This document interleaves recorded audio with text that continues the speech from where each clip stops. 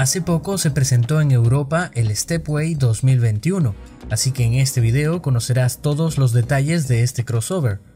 Pero antes de continuar, ¿qué te parece si te suscribes al canal y activas la campana de notificaciones para que recibas todas las novedades del mundo motor?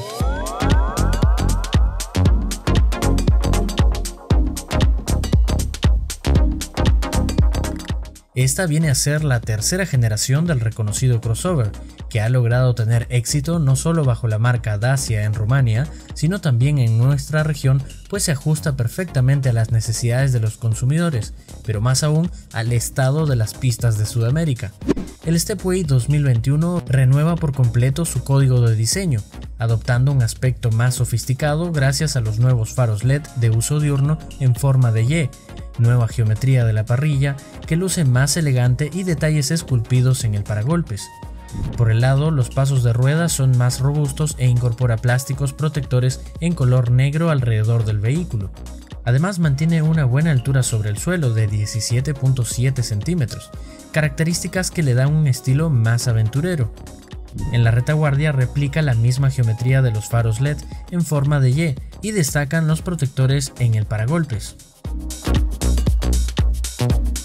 Importante mencionar que ahora el Stepway se sienta sobre una nueva plataforma CMF, por lo que crece un centímetro a lo largo y 8 centímetros a lo ancho, lo que se traduce en una mejor habitabilidad.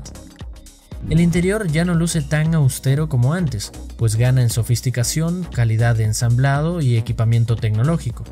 El volante es completamente nuevo e incorpora comandos multifunción, un nuevo cuadro de instrumentos, más legible y en el centro del tablero una pantalla de 8 pulgadas para el sistema de infoentretenimiento, compatible con Apple CarPlay. Destacan las nuevas molduras y patrones en la parte media del tablero que se complementan muy bien con las tonalidades naranjas en contraste que podemos ver en los apoyabrazos, tablero y asientos. Definitivamente mucho mejor logrado. Mecánicamente, el nuevo Stepway tendrá un nuevo motor de un litro de 3 cilindros naturalmente aspirado de 90 caballos, que puede trabajar con gasolina y GLP. Este motor va de la mano de una transmisión mecánica o automática. En el apartado de seguridad se espera como mínimo que equipe 4 airbags, frenos ABS y EBD. Una vez se confirme su producción en nuestra región, conoceremos más detalles específicos de cada motor que se ofrecerá. Mientras tanto me gustaría saber ustedes qué opinan. Déjenme sus comentarios, suscríbanse al canal y nos vemos en el próximo video.